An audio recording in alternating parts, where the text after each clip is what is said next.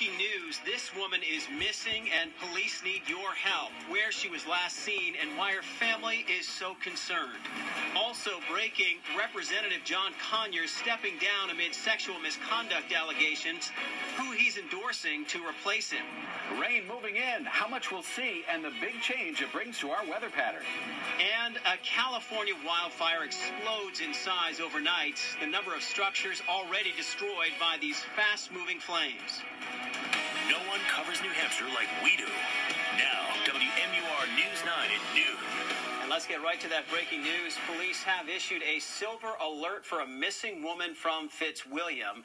75 year old Marion Sargent was last seen at the Market Basket in Rindge yesterday around 5 p.m. She was wearing a pink fleece jacket and dark pants at the time. You can see it there in the photo.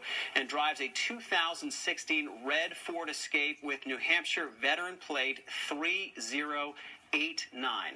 Marion has dementia and suffers from memory loss. If you have seen her, please call police immediately.